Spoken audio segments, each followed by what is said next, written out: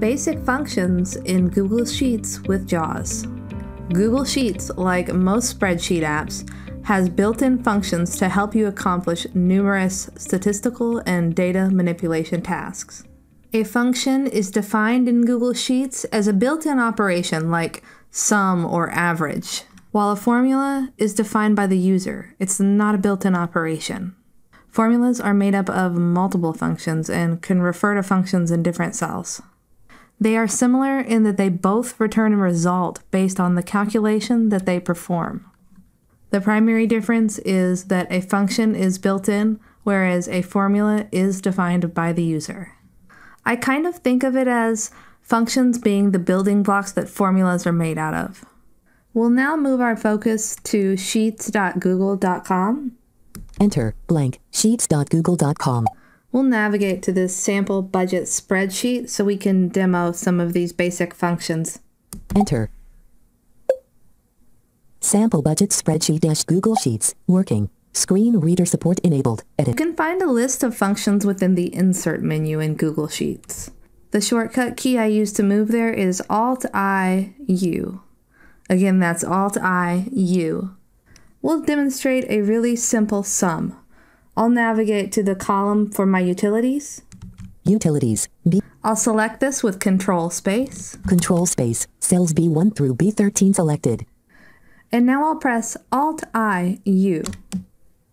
Alt I. Sample budgets U. Sum S. 1 of 23. You'll hear JAWS speak sum. That's the first option available.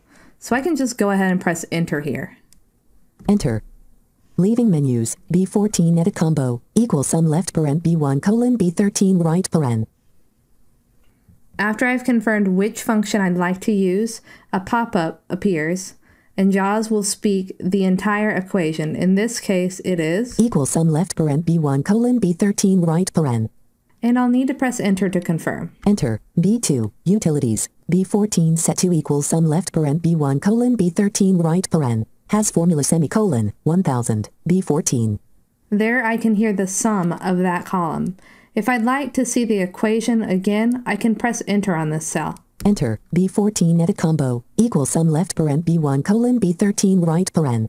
If you prefer to type in your functions and formulas manually, the syntax is very similar to that of Microsoft Excel. When typing in a formula, it always starts with an equal sign.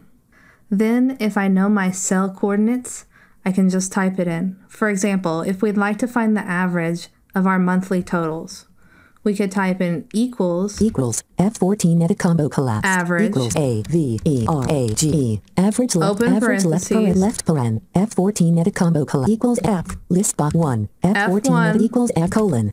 colon F13. F. 1. 3. Right paren. So I've included all the cells I'd like averaged within this function. This entire column is included. Enter. U has formula semicolon 1369.363636. F14. And that is the average for monthly totals. If I'd like to read that equation again, I can press enter. Enter. F14 edit combo collapsed. Equals average left paren F1 colon F13 right paren. This has just been the very basics of functions within Google Sheets using JAWS. If you have more specific questions, please send them to training at vispero.com. Freedom Scientific, a Vispero brand. If you are interested in other training, please visit us on the web at freedomscientific.com forward slash training and on YouTube on our Freedom Scientific training channel.